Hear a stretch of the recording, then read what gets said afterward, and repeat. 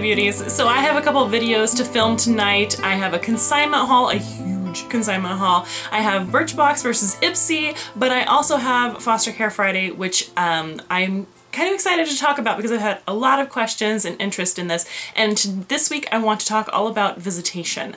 So um, I want to talk about what is in my visitation bag, but also just real quick what my experience with visitation has been. Now there are lots of different types of visitation. Basically the idea is that, you know, the goal with foster care is to reunite the child with um, their family. So those visits are trying to keep that bond, that connection between the child and their family tight and consistent. So visitation is extremely important and I know some people look at it as kind of like a hindrance. It's, you know, it's one more thing on the schedule and the schedule is already busy, but this is very, very important that even just looking at it from your child's perspective, that the, the child in foster care is able to have that time with their family. So, also there are lots of different types of visitation, but the ones that I have experience with are uh, supervised by DHS, supervised by a caseworker. So either they are transported by a caseworker or by a transporter, someone that's licensed. Um, or I take them to the DHS center and they spend their time with the family member and then I take them home or they're driven home to me. Most of the time I try to drop them off and pick them up. Um, that way I can make sure that the family member is there and I can tell them anything, you know, catch them up on up to date with whatever's going on with the child or what they need specifically that day. And um, I don't know, it also lets them see my face and so that I'm not this kind of elusive foster mom back here that I'm an actual person that um, they can kind of connect with me as well. So I found that to be beneficial in my limited experience and um, this is what I'm doing in these videos. I'm not claiming to be an expert, I'm just sharing with you what my experience so far is. So I wanted to show you what is in our visitation bag and I think this is good for any baby so one thing to keep in mind, let's just say mom and dad are the ones that you're doing visits with just to kind of keep it easy. Um, mom and dad do not know much about you as foster mom. The caseworker tends to keep your privacy pretty protected. And so really the only thing they know about you is what they see, either what you know how their child is when they come to visits or what's in the bag. So I see the bag as kind of a reflection of you um, and of how well you're taking care of their child maybe I'm reading too far into it. Maybe these are just very subtle clues um, that the parent might not even be aware that they're picking up on, but I think it's worth mentioning. So the bag that I chose, it's a Medela bag. It's black, it's very gender neutral, nondescript, but it is a clean bag. It's, it's a bag that is very easy to clean. It's not super fussy, it's not cheap looking, it's just very basic. it's a basic bag.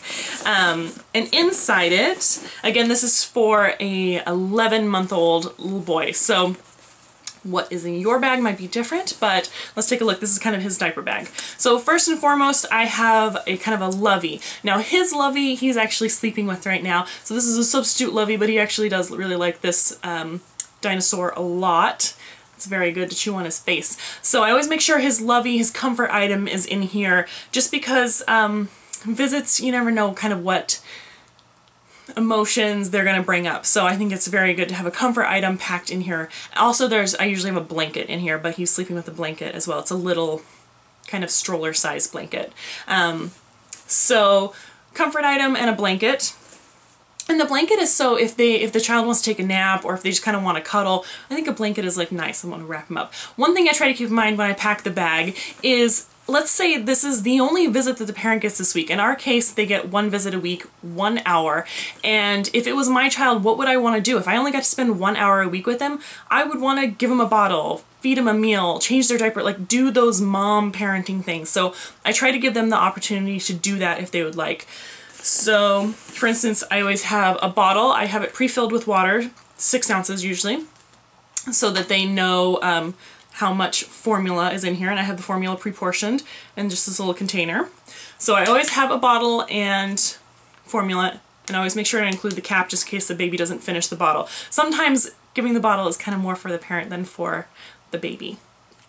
you know, like they just kind of want that act of feeding the bottle, and I don't blame them. I'm totally cool with that. So there you go always have the stuff to do a bottle um, and include a toy. Right now he's really big. He loves this teether and then like rattle. This is really big thing for him. And an added bonus is that this was brought um, by one of his family members. So I think they like seeing this, that I recognize that this is an important item and it stays with him and he uses it a lot and it also goes in his visitation bag. So that is in there. Now, in case they want to feed a meal, I'm totally cool with. It's usually during breakfast hours. Um, so I have a jar of baby food. Obviously, it's unopened. um, and then I have some oatmeal if they would like to thicken it. I have a spoon. And I put this all in a Ziploc bag so that if the spoon is like dirty or whatever, they can just throw it all back in here and it's totally fine. Um, and then I have a bowl for them to mix the food and the oatmeal. And then it has a lid, just again, just in case the baby doesn't finish all the food. So that's for a meal. Um, Baby John, that's what we call him, has been working a lot on, you know, like self-feeding and um, he loves snack time and I don't know, just eating food off a tray. So I included some goldfish, again with a lid, um, really easy to eat out of. So there you go. So, so far lots of, of eating, right? A bottle, baby food, solid food. We got all the bases covered depending on um, what they want to do. I want to make it very flexible and open-ended and so their visitation can kind of be what they want it to be. And then a bib, of course. I also include a change of outfit just in case mealtime gets a little messy or they want to change his outfit. I'm totally cool with that. I don't care. So clean shirt, clean pair of pants. Sometimes I have a pair of socks or shoes or whatever, it just depends on the day. And this always changes based on kind of like the weather or everything. So I just threw kind of a nondescript shirt and pants for this video, but um, usually when I'm packing the visitation bag that day, I put something kind of fun in here. And then we've got just a basic swaddle blanket just in case, um, in case they want to change a diaper and they need like a place to lay them down, whatever, I don't care. Just a little swaddle blanket all the way down at the bottom of the bag. Then, if they want to change the diaper, which I always encourage, um, two diapers, disposable, just so it's ease. A lot of people are very comfortable with disposable diapers. So we cloth diaper about 75% mm, of the time, I would say at home. Um, but we also disposable, you know, for naps and overnights. So he's familiar with disposables and it works for us. So two disposables and some wipes. And then I think that's about it. And then the last thing, um, which I do not have in here because I'm trying to kind of keep it private is um, I have a little journal where I write down like milestones. Like right now he is walking all over the place. This week his language has exploded. Um, if we go do things as a family, like we go apple picking or we go to the pumpkin patch, I print pictures and put them in that book so that they can you know, they can take them home, they can have pictures of their child. Um, and so it's kind of like a back and forth. And if they ever want to ask me any questions or make any requests or anything like that, they can do that in the book. And that way it doesn't get lost in the kind of the telephone between caseworker and who or whoever's supervising visitation and then me. It's just back and forth real easy. So that is it. That is what is in our visitation bag. I also had a question of um, do you stay? Do you leave? You know, like when you drop off for visitation. Usually when I drop off, I do not leave until I know that the person that is having that visit today is there. Um, I never, I would just feel horrible if I dropped a child off and then the person never came. And um, I think that would just be awful. So um, I do always make sure that the person is there before I leave. And then since it's just like an hour or maybe two hours if it's back-to-back -back visits, um, I usually just run errands. And so I'm in the neighborhood, I have my cell phone, I'm really close by. And then when the time is up, I swing in by and pick them up and take them home. So um, I, I guess that answers your question. I don't, I don't leave until I know that the visit is going to take place. Um, just in case there's a no-show. And I think that was all the questions about visitation.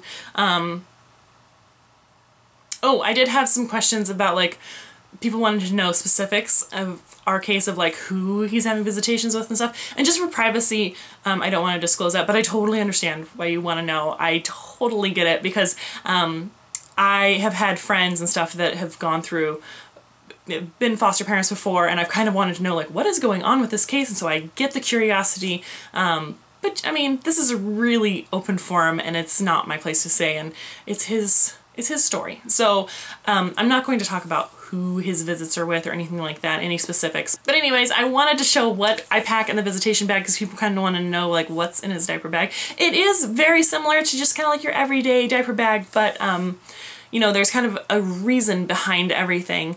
And it's really, I just want to, them to have an opportunity to showcase their parenting skills and, um, you know, to have that opportunity to parent and to love and to, you know, take care of this child in the limited time that they have each week. So there you have it. If you have any questions about fostering or um, visitations or anything like that in general, feel free to leave a comment down below. Or if it's a private, you know, if you have a kind of like a private question, feel free to um, find me over on Facebook or send me an email or send me a message through YouTube and I will try to answer it. All right, I'll talk to you guys later. Bye. So let's say you're looking at it from like um, a money-making standpoint, which is gross, but let's just get it out of the way. Let's just test this theory that you want to make money being a foster parent. Did you guys used to babysit as like teenagers? I did. So imagine someone comes up to you, you know them, maybe they go to your church or something and they go, hey Carla, I know you like to babysit, so here's kind of a job I was hoping that you could help me out with. I know a lady, she's going, she's going on vacation. She can't take her kids with her. So she was hoping that she could drop her kids off at your house this afternoon and you could just take care of them, I don't know, indefinitely.